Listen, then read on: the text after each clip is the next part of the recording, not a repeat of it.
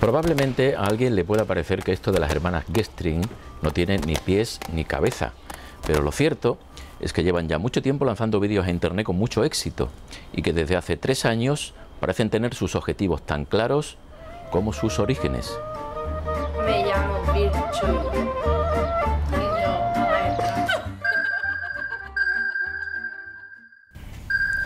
Hey, yo soy Virtue y somos las hermanas Gastring. Y yo, Aletra. Y somos gemelas.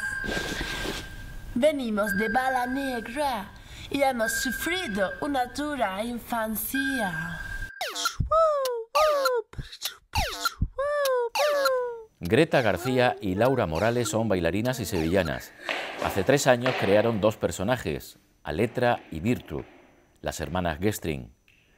Hijas, dicen, de la precariedad, se decidieron por la videocreación como lenguaje y por el humor, la guasa, como una de sus señas de identidad. Llevamos tres años colaborando. Y ahora nos vamos a Corea, porque somos súper famosas. Nos vamos con Montgomery. Y el día 2 de noviembre estrenamos nuestra nueva obra, Ese de ahí te va a matar, con el maestro de ceremonias, Mr. Rainbow.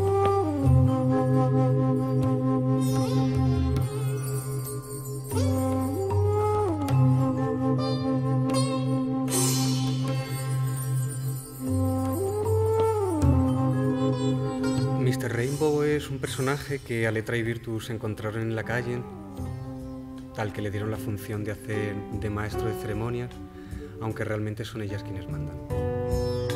Mr. Rainbow es Juan Luis Matilla, alma mater de una de nuestras más celebradas compañías de danza, Mopa. Mopa es una historia de 13 años trabajando junto a otros creadores. Danza, música y humor son el lenguaje y las señas de identidad de sus seis producciones que han cosechado un buen número de premios y recorrido escenarios dentro y fuera de nuestro país. 13 años ya.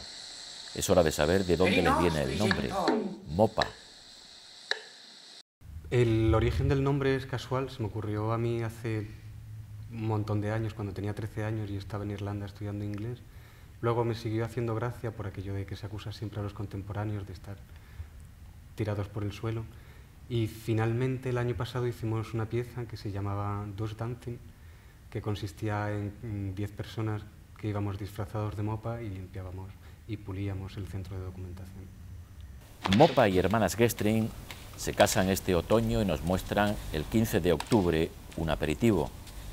Por si hay dudas, les preguntamos un buen motivo para ir a verlos. Va a estar de puta madre.